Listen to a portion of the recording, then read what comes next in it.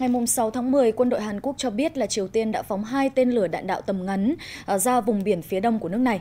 Vụ phóng được thực hiện chỉ một ngày sau khi Mỹ điều động một tàu sân bay chạy bằng năng lượng hạt nhân tới vùng biển phía đông của bán đảo Triều Tiên.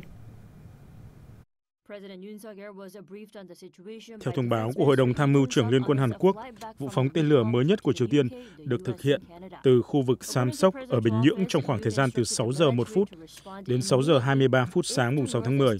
Hội đồng này cho biết đang tăng cường giám sát mọi diễn biến và quân đội nước này đang duy trì trạng thái sẵn sàng hợp tác chặt chẽ với Mỹ. Trong khi đó, Bộ trưởng Quốc phòng Nhật Bản Yasukazu Hamada cho biết một tên lửa đã bay được 350 km ở độ cao 100 km, trong khi tên lửa còn lại bay được 800 km ở độ cao 50 km. Thủ tướng Nhật Bản Kishida Fumio thông tin rằng đây là vụ phóng thứ 6 của Triều Tiên chỉ trong khoảng thời gian ngắn kể từ cuối tháng 9 vừa qua. Vụ phóng mới nhất của Triều Tiên được thực hiện chỉ hai ngày sau khi Bình Nhưỡng phóng một tên lửa đạn đạo tầm trung được cho là đã bay qua lãnh thổ Nhật Bản. Nhóm các nhà xuất khẩu dầu lớn nhất thế giới vừa đạt đồng thuận về việc cắt giảm tới 2 triệu thùng dầu một ngày bắt đầu từ tháng 11 năm nay.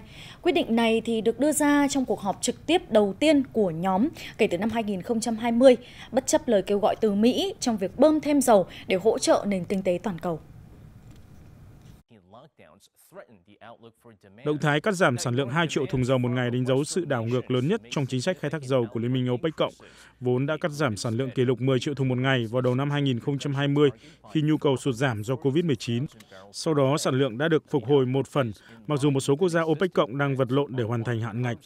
Quyết định này cũng cho thấy những áp lực từ chính quyền Tổng thống Mỹ Joe Biden nhằm giảm giá nhiên liệu trước cuộc bầu cử giữa kỳ vào tháng tới đã không được đáp ứng.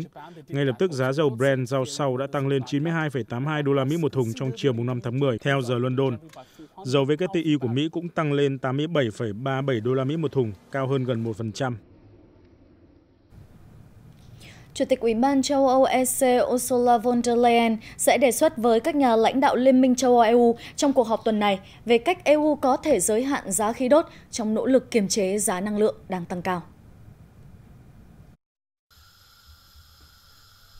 Các chính phủ EU đã tranh luận trong nhiều tuần về giá trần khí đốt mà không đạt được thỏa thuận. Phần lớn các thành viên EU ủng hộ một số hình thức giới hạn giá để giải quyết lạm phát tăng vọt. Tuy nhiên, Đức, Đan Mạch và Hà Lan phản đối với lý do lo ngại về an ninh của nguồn cung.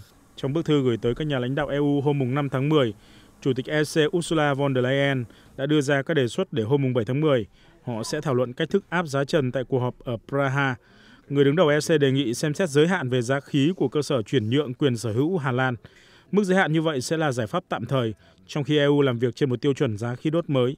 Theo một nhà ngoại giao cấp cao của EU, rất khó để thiết kế một biện pháp phù hợp với thị trường năng lượng quốc gia của tất cả 27 thành viên EU.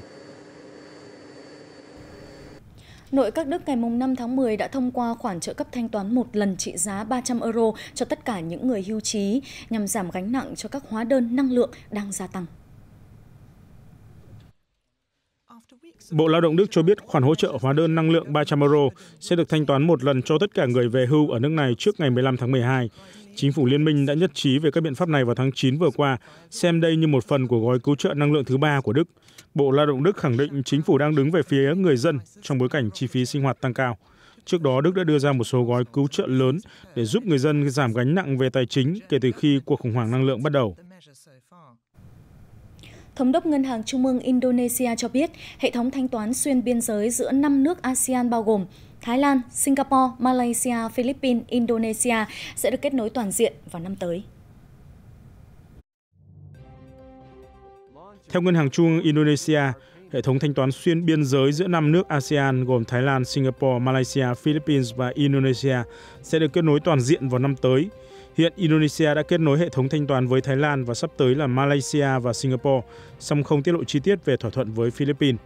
Trước đó hồi cuối tháng 8 vừa qua, Ngân hàng Trung ương Indonesia và Cơ quan Tiền tệ Singapore đã nhất trí hợp tác thanh toán bằng mã QR giữa hai nước nhằm khuyến khích kết nối thanh toán trong ASEAN.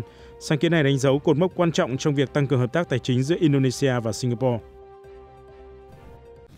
Cảnh sát Ấn Độ xác nhận là 10 người leo núi đã thiệt mạng trong một vụ lở tuyết xảy ra trên dãy núi Himalaya, trong khi có 18 thành viên của đoàn leo núi thì vẫn đang mất tích. Sáng ngày 4 tháng 10, một đoàn gồm hàng chục học viên leo núi đã gặp phải một trận lở tuyết khi đang leo gần đỉnh Draupadi Ka Dandain ở độ cao 4.900 mét so với mực nước biển thuộc bang Uttarakhand, miền Bắc Ấn Độ. Không quân Ấn Độ và cơ quan ứng phó thảm họa đã nhanh chóng được huy động tham gia tìm kiếm, cứu nạn, nhưng thời tiết xấu, tuyết rơi và mưa dày khiến chiến dịch bị gián đoạn trong đêm. Cảnh sát bang Uttarakhand cho biết đã tìm thấy 10 thi thể và 14 người được cứu, trong khi đó còn 18 người mất tích. Trong số các nạn nhân thiệt mạng có một hướng dẫn viên của đoàn là vận động viên leo núi nổi tiếng Savita Kanswan, người từng chinh phục đỉnh Everest hồi đầu năm nay. Chính quyền dự kiến sẽ hỗ trợ tài chính cho những người bị thương và người nhà các nạn nhân thiệt mạng trong vụ lở tuyết này.